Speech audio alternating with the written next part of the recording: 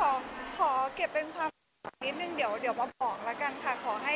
ขอช่วงนี้ให้ผ่านไปก่อนค่ะ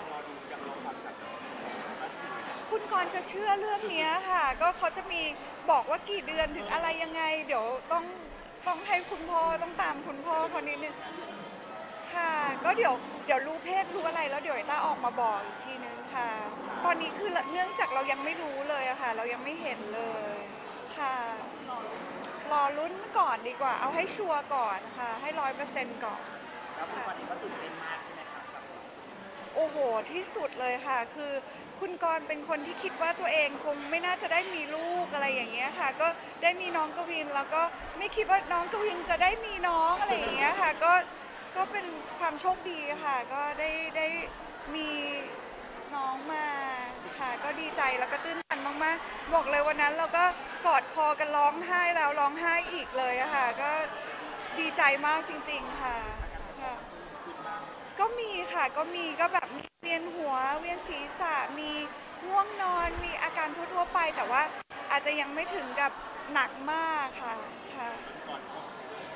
พี่ก่อนน่าจะแพ้เรื่องแบบมันชี่แบบอยากกินอะไรตลอดเวลา ซึ่งเขาไม่เคยเป็นอย่างเงี้ยค่ะ เหมือนเขามีความรู้สึกว่าเขาแพ้ท้องแทนลิต้ายังไงก็ไม่รู้ค่ะ น้ำหนักขึ้นเลยแบบเขาไม่เคยน้ำหนักขนาดนี้มาก่อน เขาบอกลิต้าอย่างนั้นนะคะ ว่าเขาไม่เคยหนักขนาดนี้มาก่อนนี่คือแบบกินทั้งวันนะคะ เหมือนแบบเหมือนเหมือนท้องน้องไปกับลิต้าด้วย ค่ะ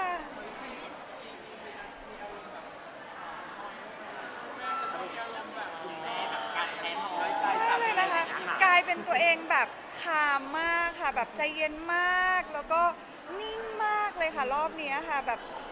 นิ่งมากแล้วก็อะไรปล่อยปล่อยวางทุกอย่างอะไรอย่างเงี้ยค่ะค่ะ เออไม่มีหน้าสามีไม่มีเลยค่ะ ไม่มีเลย มีเพื่อนก็เคยเล่าให้ฟัง แต่ว่าไม่ไม่มีอาการนี้กับเราค่ะ อยากกินพิเศษก็จะเป็นอยากกินแต่น้ำเต้าหู้ อยากกินแต่น้ำเต้าหู้นมนมนมนมนมอัลมอนด์น้ำเต้าหู้หูกินทุกทั้งวันทั้งวันแบบเป็นขวดขวดๆเลยอะค่ะ ใช่จะอยากกินอันนี้มากๆเลยค่ะ พวกน้ำนมถั่วเหลือง พวกน้ำอัลมอนด์น้ำอะไรต่างๆ เนี่ยค่ะ กินวันละเป็นแบบขวดใหญ่เลยอะค่ะ ใช่ใช่อยากกินแบบนี้ตลอดเลยค่ะค่ะค่ะ ก็ศึกษาค่ะ คือเขาจะยังไม่ค่อยเข้าใจว่าน้องคืออะไรนะคะลิต้าก็มีซื้อแบบหนังสือที่เป็นนิทานสำหรับเด็กนะคะ มาอธิบายว่าน้องเป็นอะไรอะไรอย่างเงี้ยเป็นยังไงอะไรอย่างเงี้ยคุณกรณ์ก็พยายามจะบอกว่าก็เหมือนมีพี่พัดพี่พิมพ์ไง ที่กวินเป็นน้องของพี่พัดพี่พิมพ์เขาก็รู้สึกว่าเขาอยากมีค่ะเขาตอนนี้ก็มาเรื่องเมื่อมาเรื่องว่ากวินจะให้น้องนอนตรงไหนแล้วอะไรอย่างเงี้ยค่ะ ตอนนี้กวินเริ่มจะวางแผนจัดแจงใช่เรียบร้อยเพราะว่าคนนี้เขาชอบจัดแจงค่ะค่ะ ค่ะ ค่ะ ดีมาก ๆ เลยค่ะ ก็เหมือนเดิมค่ะ ก็ได้อยู่กับครอบครัวค่ะ ค่ะ พร้อมหน้าค่ะ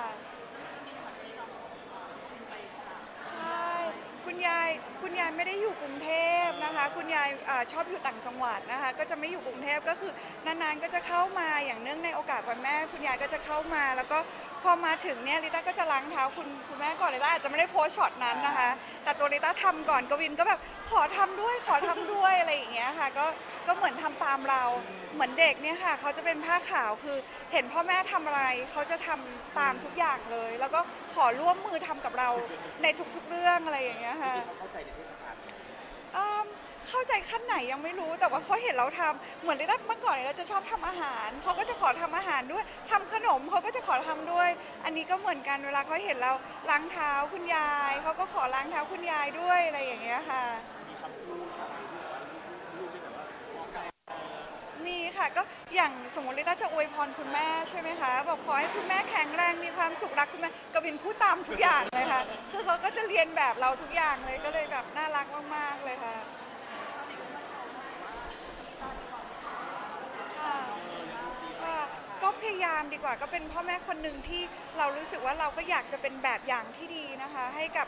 คนอื่นๆด้วยอะไรเงี้ยก็อะไรที่มันเป็นการทำความดี อะไรที่ดีๆ เราก็อยากจะถ่ายทอดออกไป อย่างน้อยก็มีมุมดีๆออกไปบ้างอะไรอย่างเงี้ยค่ะแล้วเราก็เป็นรวมถึงเป็นสิ่งที่เราทำอยู่แล้วแล้วก็อยากให้มันมีสิ่งดีๆ มี